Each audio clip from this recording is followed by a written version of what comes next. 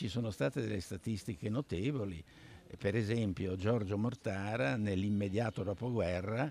ha scritto questo bel libro sulla salute degli italiani durante e dopo la guerra, la prima guerra mondiale, dove mette in evidenza proprio in termini statistici, in termini percentuali, qual è stata naturalmente l'incidenza della mortalità, qual è stata l'incidenza della morbilità, perché dobbiamo ricordarci che accanto ai feriti in campo bellico ci sono i malati, anzi durante la prima guerra mondiale i malati sono superiori ai feriti,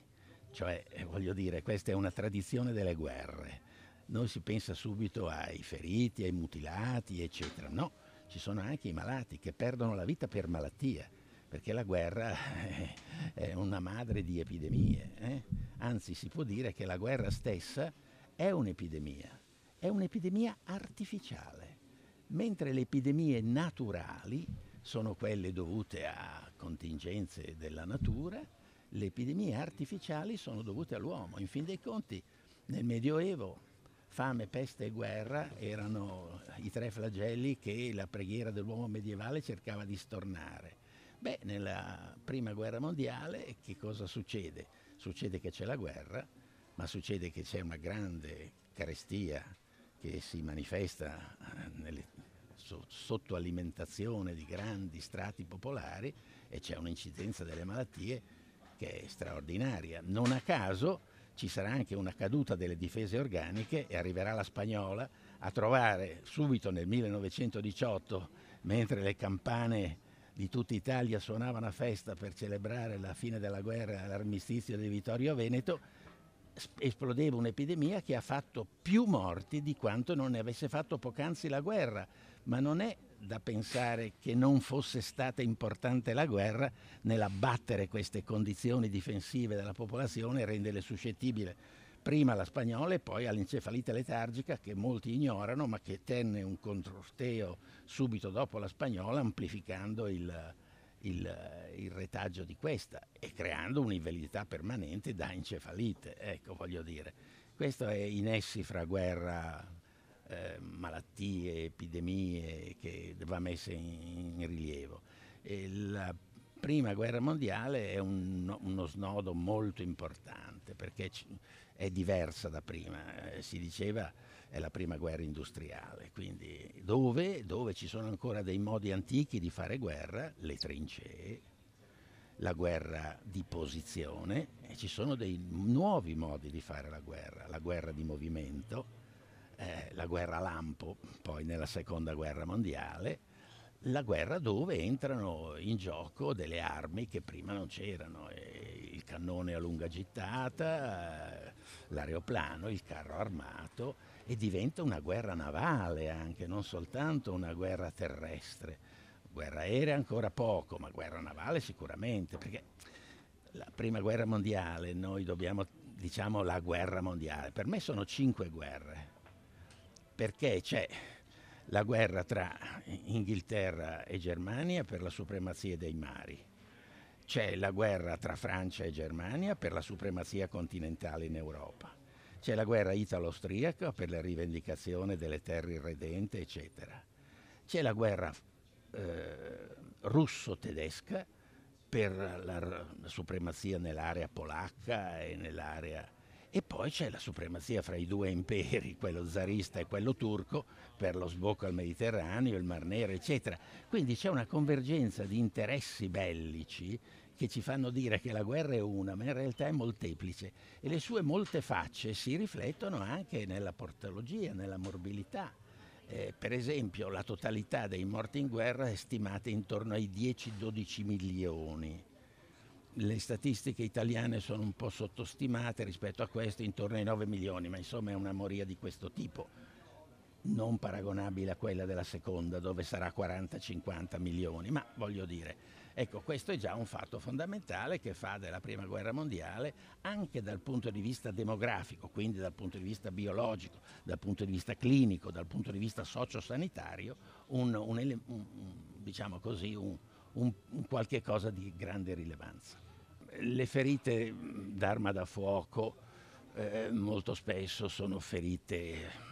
destruenti, nel senso che non c'è soltanto come era una volta la lesione d'arma bianca, quella che si dice la ferita, c'è una mortificazione di tessuti, una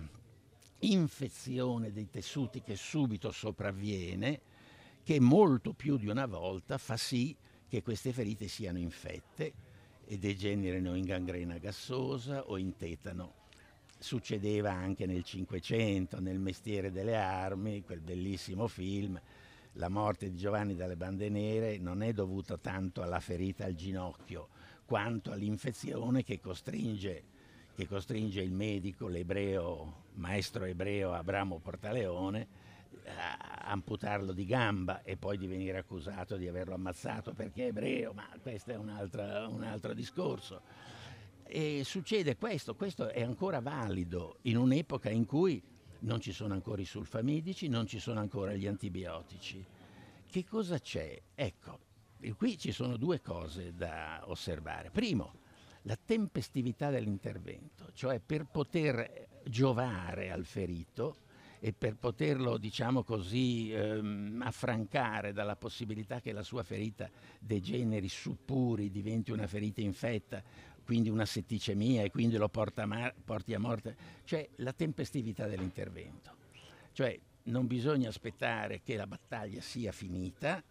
per poter intervenire sul campo di battaglia, ma bisogna poter venire, intervenire durante la battaglia. Quindi c'è tutto un problema di assistenza sanitaria rivoluzionata, un tentativo di pronto soccorso che sarà poi quello che darà mh, sostanza alla, all'urgenza, all'emergenza, alla terapia di emergenza di cui oggi noi fruiamo, eh, era già stata abbozzata nelle guerre napoleoniche.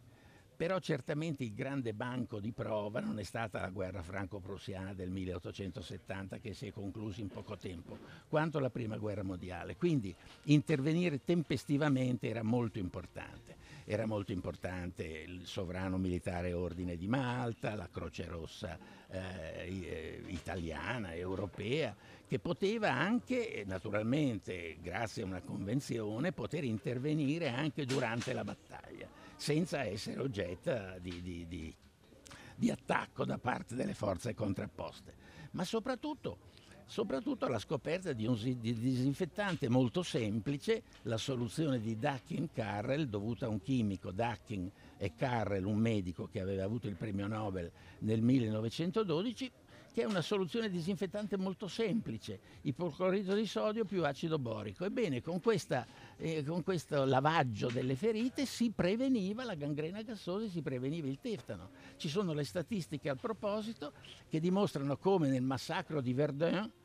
ci siano state eh, delle truppe non trattate e delle truppe trattate. Ebbene, la mortalità nelle prime non trattate è elevatissima, nelle seconde trattate è bassissima. Quindi ecco questo è un elemento che ha potuto dire guardate quando la guerra non c'è ma c'è la pace nei confronti dei feriti, degli infortunati sul lavoro, questo tipo di medicazione è utile, il pronto intervento è utile. Non dico che in questo senso la guerra sia stata utile, però certamente ha avuto delle, delle, delle conquiste, delle scoperte che sono state poi trasferite in campo civile molto utili. Nei confronti dei mutilati che sono decine di migliaia, che sono decine di migliaia, eh, ci sono già dei tentativi di, potremmo dire, di riabilitazione, di reinserimento nella vita civile, di ehm, reinserimento nella vita lavorativa, nel recupero di una funzione sociale. Per esempio ci sono i primi tentativi di arti artificiali. C'è un medico tedesco, Sauerbruck, che proprio eh, durante, eh, dopo la prima guerra mondiale, confeziona questo cosiddetto arto di Sauerbuch, cioè a quelli mutilati di braccio inserisce questo arto eh, che tra l'altro non è inerte, ma che con un meccanismo particolare che adesso non le so descrivere anche perché non saprei farlo, permette un abbozzo di articolazione delle dita tutto questo sarà il frutto delle,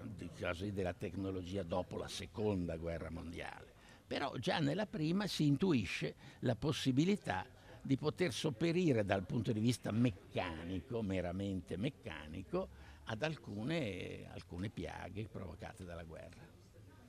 Beh, è importante non soltanto quelle che sono le malattie fisiche, le ferite, le fratture, ma anche le psicopatie. La guerra è una matrice di disordini mentali, è una matrice proprio di disagio mentale. Ci sono quelli che venivano chiamati gli scemi di guerra, cioè quelli che perdevano praticamente, come si suol dire, la trebisonda. E non era soltanto una questione di paura, era una questione proprio di stravolgimento